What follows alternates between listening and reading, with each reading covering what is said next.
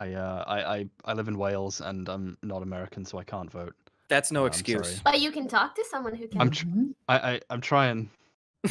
Okay. if I, if I moved, how do you, how do you get the ability to vote if you're not? You, you have to gain citizenship. Mhm. Okay. Can, I- will someone in your chat marry me? Can we, can we, You want to we have a look look? for in the something? chat.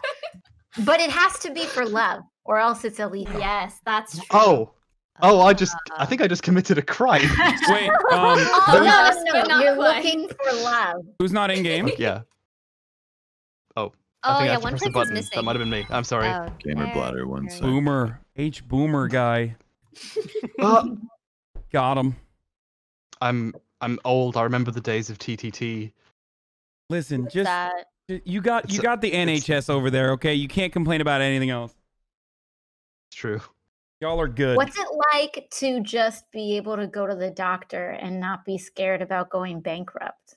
It's genuinely incredible. Um, I think that's the one thing that has struck me as the most different between living in Canada to living in the US.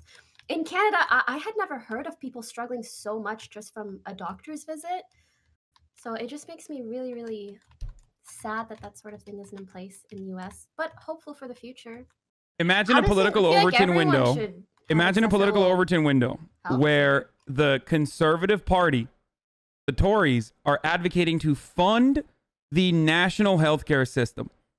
Like, because that, I mean, they were lying. yeah. They were, of course, Boris Johnson was lying. That's what, nine years of austerity. But they were Yeah. still lying in favor of funding the pre existing nationalized healthcare system Yeah. rather than talking about how we need to privatize it immediately because it's it's socialism or communism or whatever people say here The in the United States. conservatives in this country want to fund our national health service. They just want to fund it less than the other people. Like, It's a it's a wild it's a wild So- dream. I mean, it, it really sounds like science fiction. So you go to the doctor, and Mhm. then what uh, what happens? Do you just walk up and you say, "I need help," and then they say, you know, how, how Yeah, does that work? Like, I can't even imagine that interaction good. without a credit card or some sort of cash payment. I'm the other way You- you- around.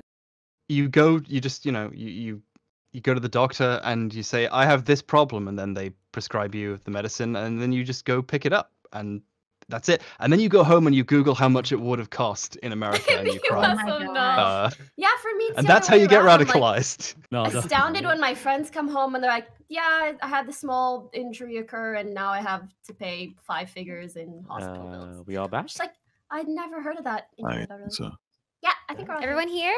Yeah. All right. I think so. Okay. Let's go.